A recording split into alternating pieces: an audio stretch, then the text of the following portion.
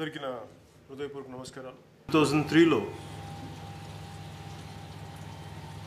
పాలిటిక్స్లోకి రావాలని నిర్ణయించుకున్నాను యాక్టివ్ పాలిటిక్స్లో.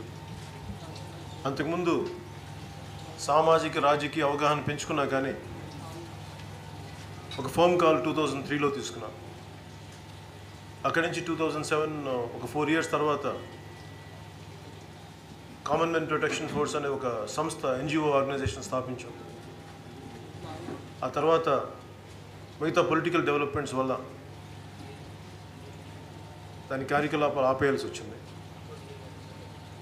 కానీ అదే ఆశయాలతోటి అదే కమిట్మెంట్ తోటి జనసేన మళ్ళీ రెండు వేల పద్నాలుగులో ముందుకొచ్చింది. స్టార్ట్ చేసిన తర్వాత ఎందుకు నేను కంటెస్ట్ చేయలేదు? దీని అన్నిటికీ ప్రతి చాలా ప్రత్యేక అన్ని అన్నిటికీ కారణాలు ఉండే చేశాను. రెడ్డి కారణాలు ఉన్నాయి ఎందుకంటే ప్రస్తుతమైన సమకాలీన పరిస్థితుల్లో ఒక ఓన్లీ కొద్ది మంది చేతుల్లోనే పార్టీలు ఉండి కొన్ని కుటుంబాల చేతిలోనే రాజకీయాలు ఇమిడిపోయి అది రాష్ట్ర స్థాయి నుంచి కావచ్చు జిల్లా స్థాయి నుంచి కావచ్చు గ్రామ స్థాయి నుంచి కావచ్చు కేవలం కొద్ది మంది చేతులు ఉండిపోవటం వల్ల ఆ గ్రోత్ కానీ ఆ డెవలప్మెంట్ కానీ ఆ పాలసీస్ కానీ అందరికీ చేరకపోవడంలో విపరీత అసమానతలు ఉన్నాయి. అంటే కేవలం అధికారం అండదండలు ఉన్న వాళ్ళకే తప్ప అందరికీ న్యాయం జరగట్లేదు అన్న ఆవేదన వీటన్నిటి నుంచి పుట్టింది సిపిఎఫ్ అనేది అంటే కేవలం వాళ్ళ దాంట్లో భాగస్వామ్యం అయితే తప్ప న్యాయం జరిగిన పరిస్థితి ఉంది. సో వీటన్నిటిని దృష్టిలో పెట్టుకొని నేను చాలా బలమైన భావజాలంతో సాధన చేసిన భావజాలంతో అరువు తెచ్చుకున్న భావజాలం కాదు. వీటన్నిటిని దృష్టిలో పెట్టుకుని నేను సిపిఎఫ్ స్టార్ట్ చేశాను. ఒక సగటు మనిషికి ఒక మధ్యతరగతి వాళ్ళకి అణగారిన వర్గాలకి బలమైన గొంతు లేదు. కేవలం ఎట్టి పరిస్థితులు అధికారం కావాలి విలువలు విలువలు వదిలేసినా కానీ అనే పరిస్థితుల్లో రాజకీయాలు ఉండకూడదు. వీటన్నిటిని దృష్టిలో పెట్టుకొని ముందుకు తీసుకెళ్ళాం. స్థాపించడం జరిగింది. ఇది పెట్టాక అసలు కంటెస్ట్ చేయాలా వద్దా అనేది చాలా ఆ రోజుల్లో నేను ఆల్మోస్ట్ ఒక డెబ్బై ఎనభై స్థానాలకు పోటీ చేయాలనుకున్నాను. దానికి కారణం కూడా ఏంటంటే ముందు కామన్ సింబల్ రావాలి. ఆ కామన్ సింబల్ కోసం డెబ్బై ఎనభై స్థానాల్లో ఏడు ఎనిమిది పార్లమెంట్ నియోజకవర్గాల్లో పోటీ చేయాలని చెప్పి. చాలా ఆలోచించి ఆ నిర్ణయం ఏం తీసుకున్నానంటే ముందు ఒక ప్రభుత్వాన్ని నిలబెట్టడానికి ఒక ప్రభుత్వం ఏర్పడటానికి మనందరం సహకారంగా అందించగలిగితే మనకు కొంత అనుభవం ఉంటుంది. అలాగే పూర్తి స్థాయి మనకి ఒక అవగాహన ఉంటుందనే ఉద్దేశంతో ఏ పోటీ చేయకుండా కొన్ని ప్రత్యేక తర్వాత ఫ్యూచర్లో మళ్ళీ సభల్లో ఎక్స్ప్లెయిన్ చేస్తూ ఉంటాను ఈ పర్టికులర్ ఇదని. అందరూ మాట్లాడేది ఏంటంటే ఆర్గనైజేషన్ బిల్డింగ్ లేదంటారు.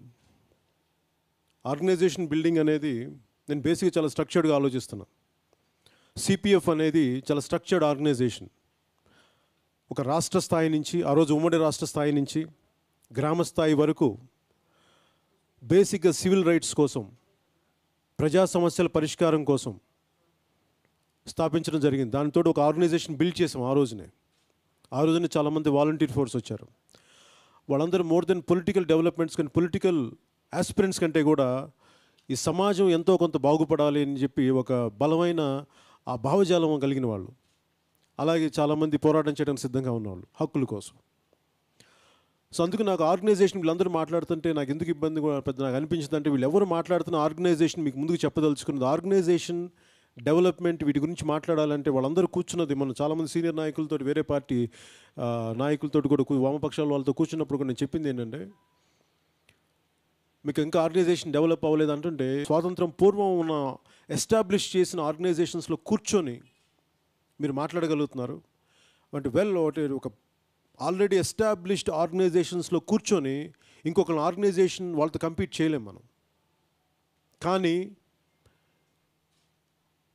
వాళ్ళ మాటలు నాకేం అనిపించవు. ఎందుకంటే మన first generation leadership first generation political party మనం వెనక పెద్ద హంగులు లేవు ఆర్భాటాలు లేవు. చిన్న చిన్న కుటుంబాల నుంచి వచ్చాం.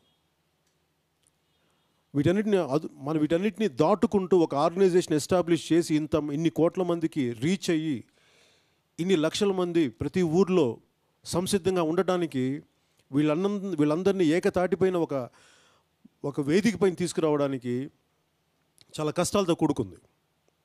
చాలా డిసిప్లిన్తో కూడుకుంది. ఇవన్నీ నేను చేయడానికి నాకు పది సంవత్సరాలు పట్టింది.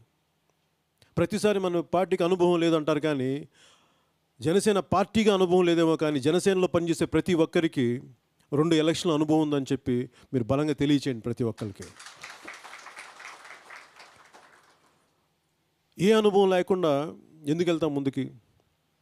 నేను రెండు వేల తొమ్మిదిలో ఒక ఎంపీగాను ఒక ఎమ్మెల్యేగాను కంటెస్ట్ చేసేవాడిని. నేనేమనుకున్నానంటే అన్నిటికంటే కూడా ప్రజాక్షేత్రంలో సమస్యలు తెలుసుకోకుండా అవగాహన తెలుసుకోకుండా రాజకీయ పరిస్థితులని నేను ఒక ఎమ్మెల్యే ఎంపీగా అయిపోతే నేర్చుకునే అవకాశం కోల్పోతానని చెప్పి ఆ రోజు నేను పాల్గొనలా. రెండు వేల పద్నాలుగులో నేను కంటెస్ట్ చేసి ఎంతసేపు నా గెలుపు కోసం నేను పెట్టుకున్న నించున్న అభ్యర్థుల గెలుపు కోసం ఉంటాను తప్ప ఒక భావజాలాన్నో ఒక పార్టీకి ఒక ప్రభుత్వం ఏర్పరచడానికి కీలక పాత్ర వహించిన అవకాశం కోల్పోతామన్న ఉద్దేశంతో నేను పోటీ చేయలేదు. ఎందుకంటే ఈ అనుభవాలన్నీ మనకు చాలా కావాలి భవిష్యత్తు కోసమని. అలాగే ఈ రోజున నేను చాలా స్ట్రక్చర్డ్ ఆర్గనైజేషన్ డెవలప్ చేసుకుని ముందు కొంచెం కొత్తగా ఉంటాయి వైవిధ్యంగా ఉంటాయి నేను మాట్లాడే అలవాటు కావు అందరికీ. కన్వెన్షనల్ పాలిటిక్స్ చేయను నేను.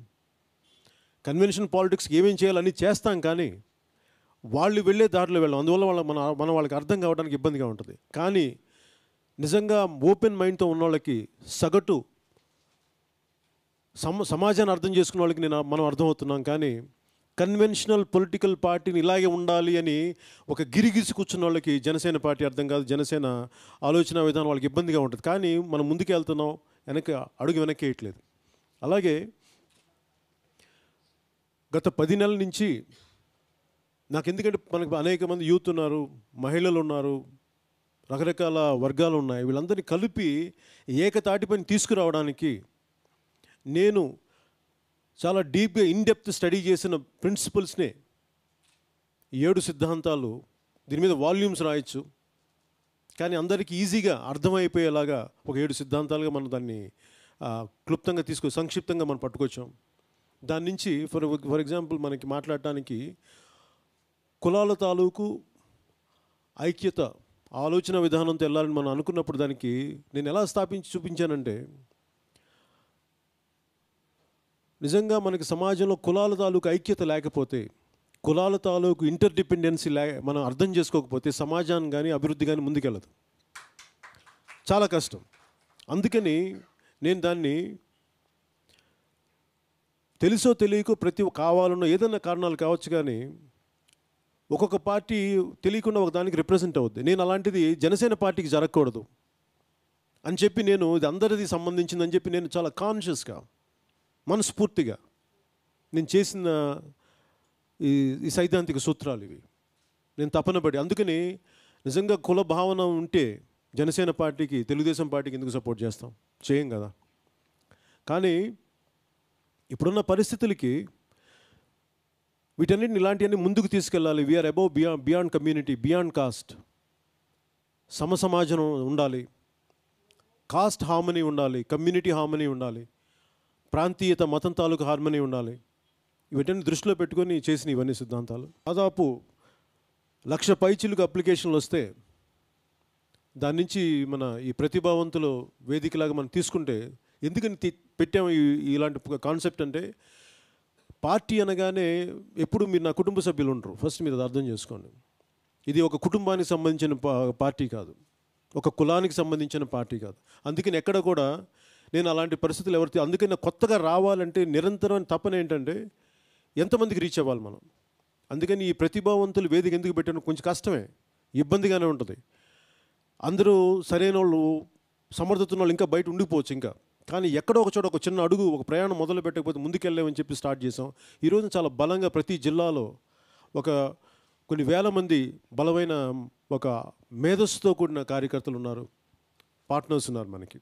పార్టీని ముందుకు తీసుకెళ్ళడానికి. సో దీంట్లో భాగంగా ఒక పది నెలల క్రితం నేను ఒక ఆర్గనైజేషన్ హైర్ చేశాను. మనం ఇంతమందిని సమకూర్చుకున్నాం ఇంతమంది జనాభా ముందుకు వచ్చారు దీనికి ఒక ప్రొఫెషనల్ హెల్ప్ కావాలి. ఎందుకంటే నేను ఒక్కడిని చేస్తుంటే సరిపోవట్లేదు. నాకున్న కొద్ది మంది చేస్తుంటే సరిపోవట్లేదు. అని చెప్పి దేవ్ అని చెప్పి ఈయన మీ పరిచయం చేస్తాను అంటే ఆర్గనైజేషన్ ఇప్పటిదాకా మనం ఫామ్ చేసిన దగ్గర నుంచి ఇక దీన్ని ఎలక్షన్స్ అయిపోయే వరకు ఎలక్షన్స్ తర్వాత పార్టీని స్టెబిలైజ్ చేసే వరకు ఆయన సర్వీసెస్ తీసుకోవడం జరిగింది. అంటే మనం మీకు చెప్పదలుచుకుని నేను ఎప్పుడు కూడా కొద్ది స్థానాల్లో పోటీ చేస్తానని నేను ఇప్పుడు ఎవరికి ఒక్కరికి కూడా చెప్పలా. అది వాళ్ళు ఊహించుకున్న కథలు వాళ్ళు ఊహించుకున్న ఊహలు. మనం రెండు వేల పంతొమ్మిదికి నూట డెబ్బై ఐదు స్థానాల్లో ఖచ్చితంగా పోటీ చేస్తాం.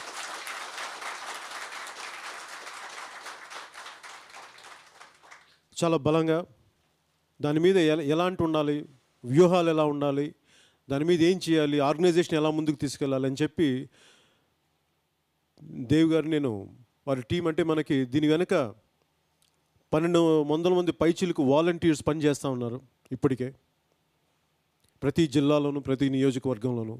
ఈ పన్నెండు వందల మంది ముందు మనకు వచ్చింది నేను సిపిఎఫ్ పెట్టినప్పుడు ఆ రోజు ఐడియాలజీకి నేను చెప్పిన మాటలకి కమిట్ అయిపోయిన వ్యక్తులు అనమాట అప్పటి నుంచి నాతోటి నాతో పాటు ఉన్నారు. వాళ్ళ డేటాబేస్ నుంచి అనేక వేల మంది ఉంటే వాళ్ళు ఫైనల్గా పన్నెండు వందల పైచిలుకుని షార్ట్ లిస్ట్ చేసి ఈయనకి కనెక్ట్ చేయడం జరిగింది.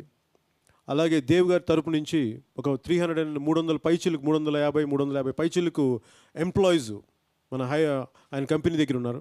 మూడు వందల యాభై మంది ఎంప్లాయీస్తో సహా ఈ పన్నెండు వందల మంది కలిపి రెండు వేల పంతొమ్మిది ఎలక్షన్స్కి పోటీ చేయడానికి బూత్ స్థాయి కమిటీల దగ్గర నుంచి రాష్ట్ర స్థాయి వరకు అలాగే రాష్ట్ర స్థాయి లీడర్షిప్ నుంచి ప్రతి జిల్లా స్థాయికి మండల స్థాయికి గ్రామ స్థాయికి ఎలా వెళ్ళాలి ఎలక్షన్స్ ముందు ఎలా ప్రిపేర్ అవ్వాలి ఎలక్షన్స్ ఎలా ప్రిపేర్ అవ్వాలి ఎలక్షన్స్ తర్వాత పార్టీని సస్టైన్ చేయాలి అంటే ఎలా చేయాలి వీటన్నిటిని దృష్టిలో పెట్టుకొని ఆయన ఒక ఒక ఒక బలమైన ప్రణాళిక రచించడం జరిగింది.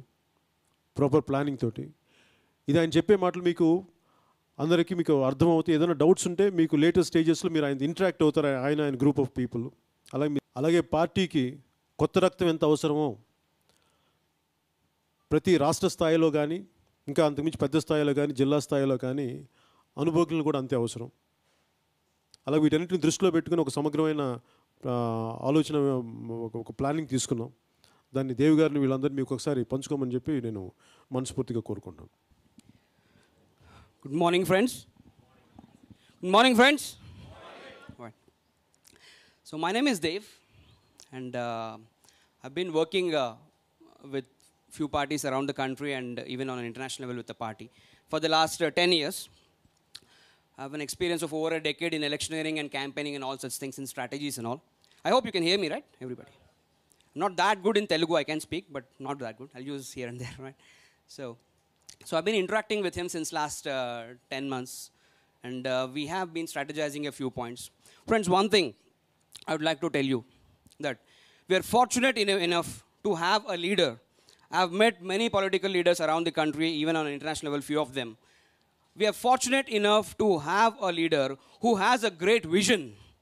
Many of us, many of us even the seasoned politicians think that there is some gap over there, but really speaking, he has a very strong strategy, a vision, a roadmap to get Janasena into power in 2019. I have been a strong witness to it at every stage. How to empower the cadre, how to empower the sections of the society and all, he has it. Friends, one thing let me tell you our leader strongly believes one thing that democracy is not a privilege of few communities to rule. రెండు మూడు కమ్యూనిటీల గుత్తాధిపత్యం కాదు అది అందరిది so what he strongly feels is all everybody in democracy has a right to participate and all of you, in the initial stage, I'm telling you, anybody, whether there is an issue on a booth level or an assembly conscience level or a parliament conscience level or a state level, go ask the question. Go ask the question, be participative, and be a true Genesenic. That's what his core ideology is all about. Right, friends? And then, he always feels, and what I believe today is, a leader is somebody who can serve. Right? A leader is somebody who can serve. Once we ta- start serving, only then we can be a leader, and we have to follow him on that. Right, friends? So, here, friends, let me tell you the strategy of this party. I will be helping you throughout from now till the date of election, and even after the result, when we really come into power, even then, I'm here. So నాకు మీ అందరి Dev presentation మీకు నచ్చిందని అనుకుంటున్నాను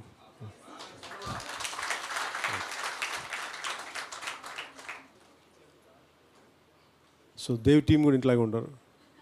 మిగతా twelve hundred కూడా ఇలాగే ఉంటారు. So ఈ మే ఏడో తారీఖు కానీ ఏడో తారీఖు తర్వాత ఎప్పుడైనా సరే నేను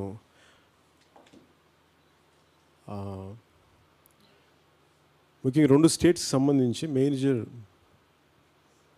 ఫోకస్ ఆంధ్రప్రదేశ్ మీద ఉన్నా కానీ తెలంగాణకు సంబంధించినంత వరకు తెలంగాణ రాష్ట్రానికి సంబంధించినంత వరకు ప్లానింగ్ ఏంటంటే ముందు క్యాడర్ బిల్డింగ్ మీద ఫోకస్ చేస్తున్నాం. లీడర్షిప్ బిల్డింగ్ మీద. ఇప్పుడు క్యాడర్ బిల్డింగ్ జరుగుతూ ఉంది. లీడర్షిప్ బిల్డింగ్ నెక్స్ట్ స్టెప్ తీసుకుపోవాలా? ఒక త్రీ మంత్స్ తర్వాత తెలంగాణకు సంబంధించినంత వరకు జనసేన పార్టీ ఎలా కంటెస్ట్ అయిపోతుంది ఏంటి అనేది ఓన్లీ ఒక మూడు నెలలు. అంటే కరెక్ట్ చెప్పాలంటే ఇది మే కాబట్టి జూన్ జూలై ఆగస్ట్లో మిడ్ ఆఫ్ ఆగస్ట్లో మన తెలంగాణకు సంబంధించిన ప్లాన్ ఒకటి క్లారిటీ వస్తుంది. అందుకని తెలంగాణ సంబంధించినంత వరకు మనం ఇలాంటి మీటింగ్ ఈ లోపల ఏంటంటే మనం చేసేదంతా క్యాడర్ బిల్డింగ్ చేస్తున్నాం. లీడర్షిప్ ఐడెంటిటీ చేస్తున్నాం. ఐడెంటిఫికేషన్ జరుగుతూ ఉంది. అలాగే ఎలా పోటీ చేయాలి ఎక్కడ పోటీ చేయాలి ఎప్పుడు పోటీ వీటన్నిటి మీద మటుకు ఆగస్టులో ఒక స్పష్టమైన క్లారిటీ తెలంగాణ సంబంధించినంత వరకు ఇస్తాను. అలాగే రోడ్స్ మీద ఇప్పుడు మనకి ఎలక్షన్స్ గట్టి తిరగడానికి ఫస్ట్ సమస్యను అర్థం చేసుకోవడానికి స్పెషల్ కేటగిరీ స్టేటస్ మీద మన వి- విధి విధానాలండి ప్రజలకు ఎలా తీసుకెళ్ళాలి వీటన్నిటి మీద విభజన హామీల మీద ఈ ఏడో తారీఖు కానీ మ్యాక్సిమం పదో తారీఖు లోపు పది కానీ పదకొండు కానీ నేను ఒక ఒక ఊరికి వస్తాను అక్కడి నుంచి అనౌన్స్ చేస్తాను. అక్కడి నుంచి నెక్స్ట్ ట్వంటీ ఫార్టీ ఎయిట్ అవర్స్లో ఒక ఆరేడు జిల్లాలు అనుకున్నాను. ఆ ఆరేడు జిల్లాల్లో ఏ జిల్లా నుంచి ప్రారంభిస్తానది ఇంకా నేను నాకు ఒక ఇంకా నేను మనసులో అనుకుంటా ఉన్నాను. అది చెప్పగానే నాకు ఏం ఒకళ్ళు మీ జిల్లా అయితే నాకు ఖచ్చితంగా నాకు మీ సపోర్ట్ అండ్ సహకారం కావాలి. బిట్వీన్ నైన్త్ అండ్ లెవెన్త్ లోపు క్లారిటీ ఇస్తాను. ఏ జిల్లా నుంచి జనసేన ప్రజల మధ్యలోకి వెళ్ళబోతుంది అనేదాన్ని దాంతోపాటు పార్టీ నిర్మాణం పార్టీకి సంబంధించిన మొత్తం లీడర్షిప్ని ఐడెంటిఫై చేయటం ఇవన్నీ చేసుకుంటా ఇప్పుడు మన దేవి గారి సహకారంతో మిగతా సీనియర్ లీడర్ సహకారం మీ అందరి సహకారంతో పార్టీ రెండు వేల పంతొమ్మిది ఎలక్షన్స్కి సంసిద్ధంగా ఉండాలని చెప్పి మనస్ఫూర్తిగా కోరుకుంటూ సెలవు తీసుకొని జై హింద్ అండ్ థ్యాంక్ యూ.